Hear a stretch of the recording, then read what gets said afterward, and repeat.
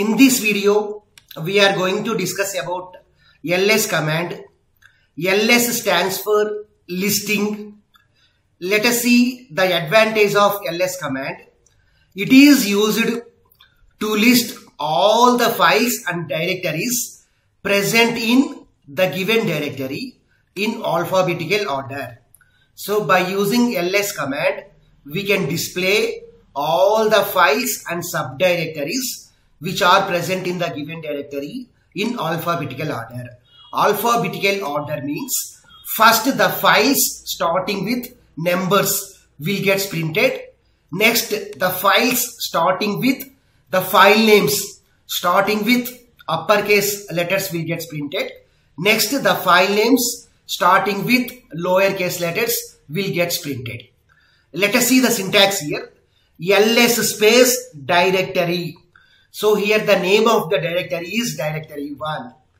If we specify a directory name, then ls command will list all the files and subdirectories which are present in the directory, directory 1. Let name of the directory is directory 10. Then if we uses ls space directory 10, then it will displace all the files and subdirectories which are present in directory 10. Let us see the second syntax. Suppose if we don't specify any directory name, here we don't have any directory name, ls. If we don't specify any directory name, then it will list all the files and subdirectories present in the current working directory. Suppose if the directory name is omitted, then all the files and subdirectories which are present in current working directory will get printed. So let us see practically now. Uh, ls, uh, here we have these files are there. So first the files starting with numbers got printed. Here we have two files starting with numbers. So first those are printed. Next the files starting with uppercase alphabets will be printed. So first in file 1 F is uppercase letter in file 2 F is uppercase letter. So that's why these two files are printed. Next year for directory, uh, next the files starting with lowercase alphabets we get printed. The file starting with lowercase alphabets. Here we have small d uh, in directory 1, directory 2, small d is the lowercase alphabet in file. Uh, here D, F, D, F, H all are lowercase letters only in alphabetical order. So first we got directory 1, next directory 2, next to file, next to file 2, next to file. So likewise we got the output. Now let us see the options. Here uh, there are several options are there. Let us see all the options one by one. The first major important option is ls hyphen l. L stands for long listing. L stands for long listing. So it will display all the files and directories in long listing form in long listing form. So let us display that. So ls space hyphen l. Then if we observe here, so in long listing form, we will get the output. So this is one column, this is the second column, third column, fourth column, fifth column. So likewise, we have six columns are there. Let us see all the columns one by one, one by one. Here the first column, this hyphen specifies type of the file, type of the file. Uh, for ordinary file, the type is hyphen whereas for the directory the type is D. If you observe here for the directory the type of the file is D. Next the next nine are file permissions. These nine are called as file permissions. We will have nine permissions are there. R stands for read, W stands for write, X stands for execute. The first three permissions are belonging to the owner. The next three permissions are belonging to the group the next three permissions are belonging to the execute permission. So totally we have nine permissions are there. This one specifies number of links. So for the corresponding file, for the file 2, we will have only one, link, one link is there. If you want, we can create a number of links with the help of ln command. Next, the next column specifies owner or user. So owner or user of my account is Sudhakar Atchala. Next column specifies group. So group name is Sudhakar Atchala. Let us assume that we are working in a college lab. Let the lab, in a lab we have 90 systems are there. Then what we can do is the corresponding 90 systems are divided into three groups where each group contains 30 systems. We can do like that. And the next column specifies what is the creation or uh, when that file was created, creation time, file creation time or last modified time. So file creation time or last modified time and the last column specifies name of the file, name of the file. So this is about uh, L option. Now let us see the next option. The next option is hyphen R, small r. If you use a small r, then what will happen is R stands for reverse. It will displace all the files and directories in reverse order of the alphabetical order. So generally what will happen? First the file starting with numbers will get printed. Next uppercase files will get printed. Lowercase file names files will get printed. Whereas in reverse order it will get printed. So first lowercase files will get printed. Next uppercase files. Next numbers files will, will get printed. Let us see that. So ls hyphen r. ls hyphen r.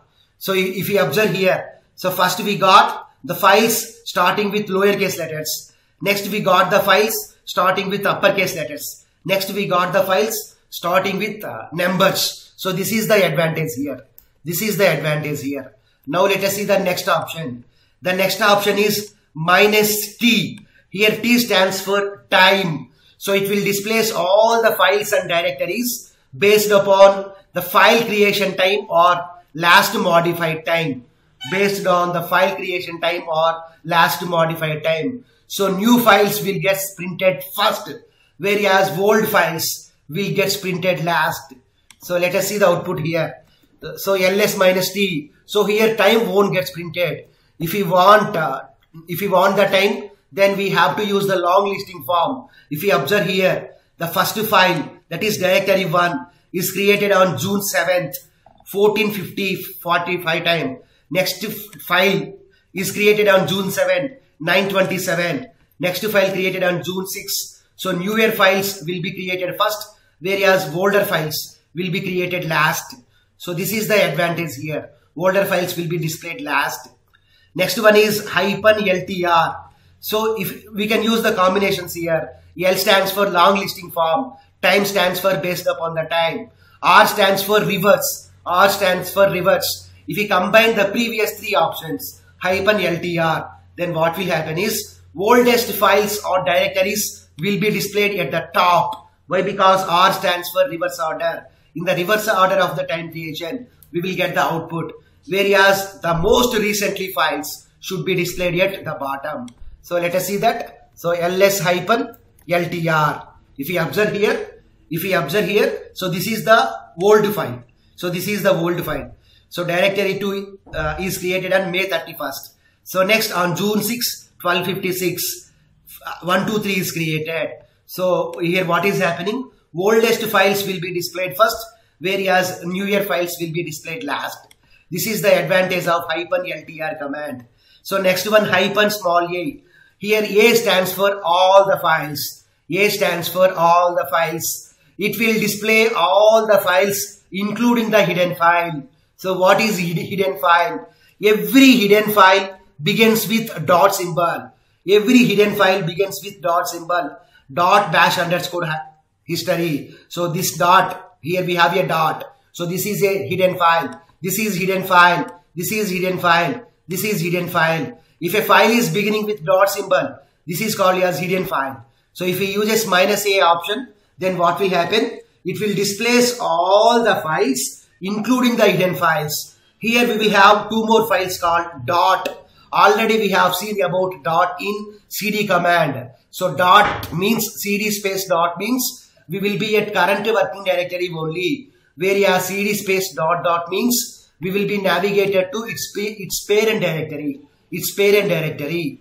So ls hyphen a means it will displace all the files in including the hidden files. It will displace all the files including the hidden files. So in order to count how many files are there, we can use a command like this. ls space hyphen a means we will get all the files. Totally how many files are there? So 1, 2, 3, 4, 5, 6, 7, 8. So 1, 2, 3, 4, 5, 6, 7, 8. So 8 into 2 means 16. 16 plus 1 means 17. So ls minus a means we will get these 17 files. Here this is called as pipe symbol. What is the advantage of the pipe symbol? For the pipe, the left hand side means input, right hand side means output. So pipe symbol will takes the input from the left side and it will provide it as input to its right hand side command.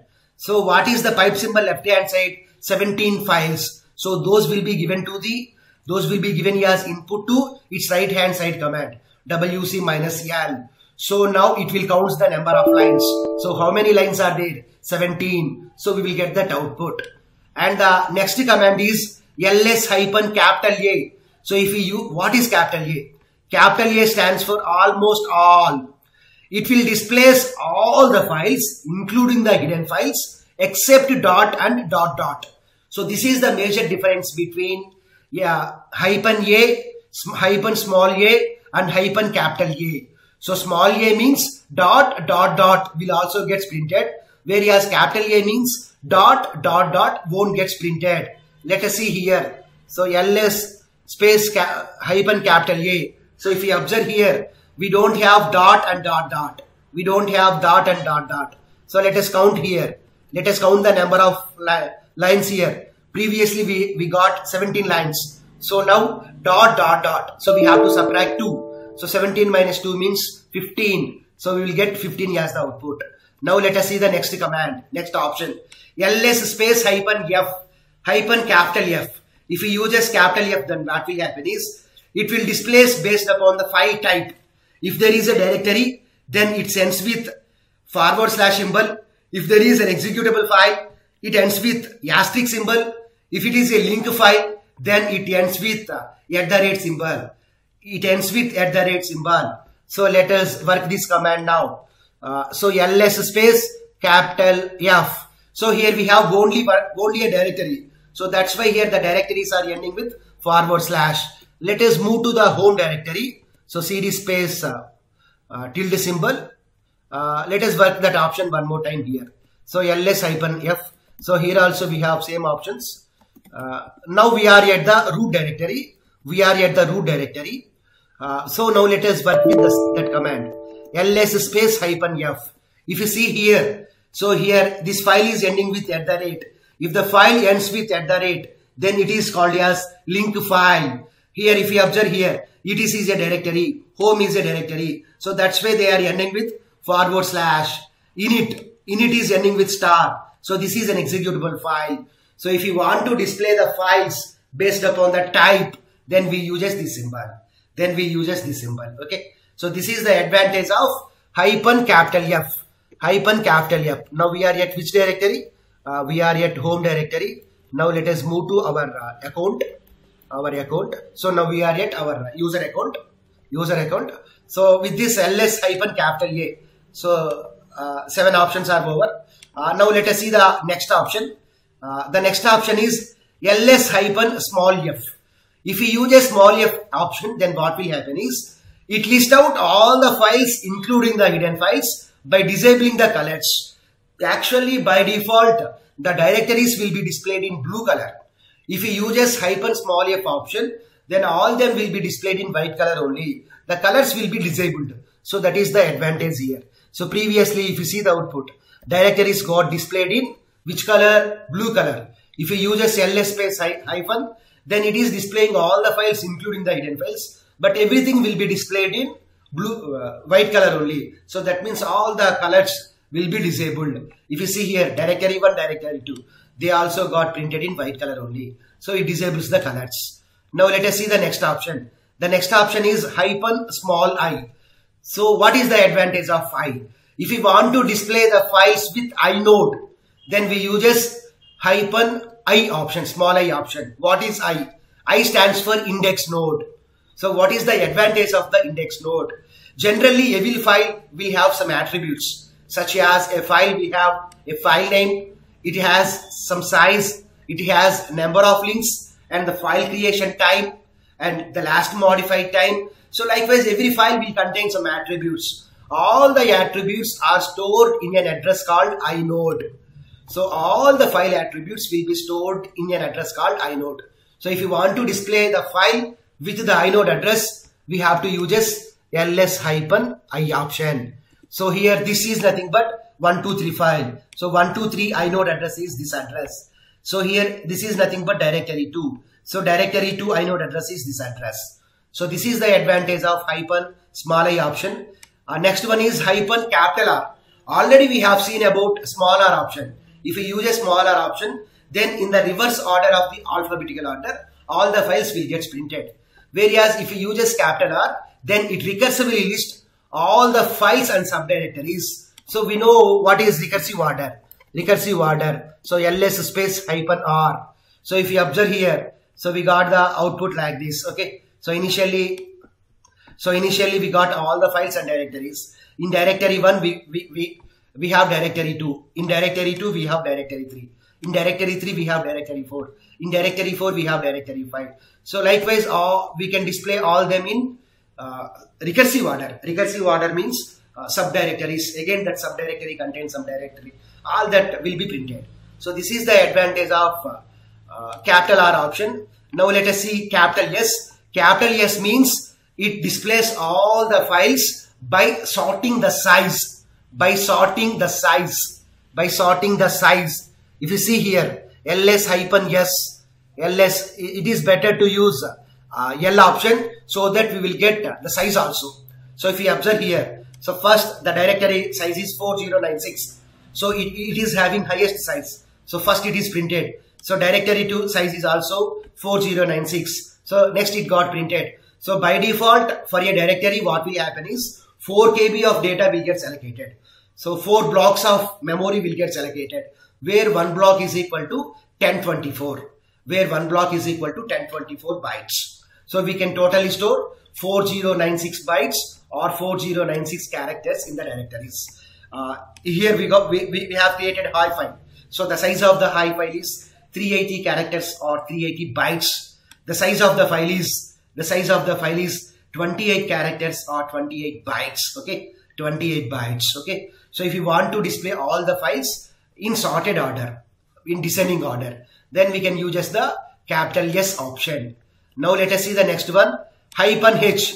If we use hyphen H, what will happen is, in human readable form, we'll get the output. Here, what is 4096? 4096 is nothing but 4 blocks, 4 blocks. So we'll get that output, ls minus hl. So if you observe here, so 4096 means 4 kilobytes. So 1 kilobyte means 1024 bytes. So 4 into 1024 means 4096. So in human readable form, we will get the output. Here human readable form means this one, 4 kilobyte, 4 kilobyte. This is nothing but human readable form. Let us see the next option. The next option is hyphen D. D stands for directories. If you want to display only directory attributes, then we can use this option. ls space hyphen D. Uh, for long listing, use LD. So all the directories information will get printed here. So the type of the file is D. The next nine are permissions. Next one is uh, link. Only one link is there. Owner Sudhakar Atchala, group Sudhakar Atchala. Uh, next one size 4096 and creation time. This dot specifies that we are at current directory. So this is about uh, ls command and the various options which we can use in the ls command.